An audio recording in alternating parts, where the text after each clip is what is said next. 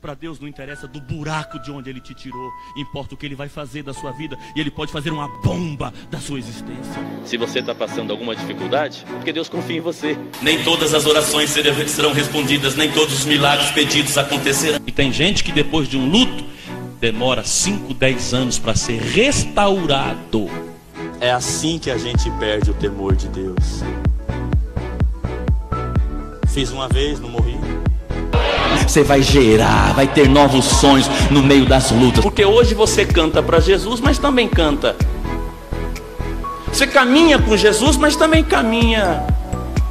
Eu estou pregando o evangelho quando eu vou buscar pão no mercadinho da minha rua. E a moça me dá o troco com 25 centavos a mais. E eu volto lá e digo, filha, isso aqui não me pertence. Eu estou pregando ali. Eu conheço gente que escapou de tiro, de bala. Eu conheço gente que escapou de facada. Eu não conheço uma pessoa que escapou de amor.